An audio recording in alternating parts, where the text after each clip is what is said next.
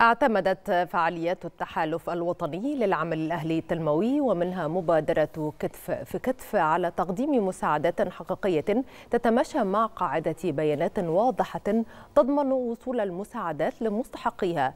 تستهدف المبادرة تعبئة وتوزيع أكثر من أربعة ملايين صندوق من المواد الغذائية على الفئات الأولى بالرعاية والأسر الأكثر احتياجاً.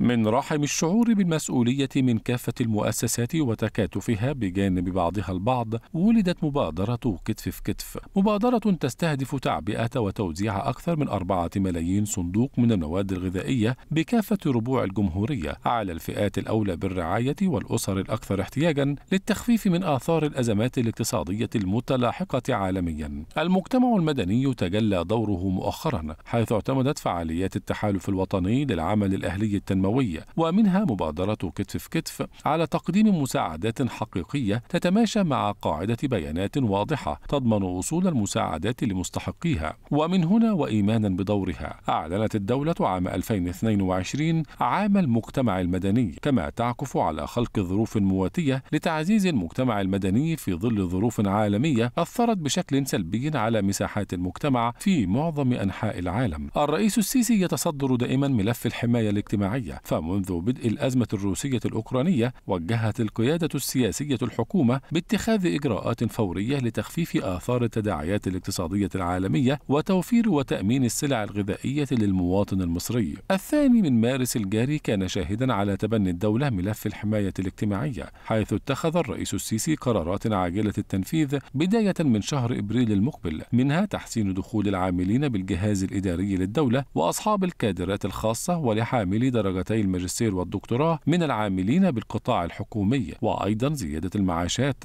بالإضافة إلى رفع حد الإعفاء الضريبي على الدخل السنوي. هذا وتعد المبادرات التي يجريها المجتمع المدني ركنا مهما في عملية التنمية بالدولة وداعما أساسيا لمثلث التنمية والحماية الاجتماعية مع القطاع الخاص وإجراءات الحماية الاجتماعية التي تجريها الحكومة لتوفير غطاء آمن للفئات الأكثر تضررا.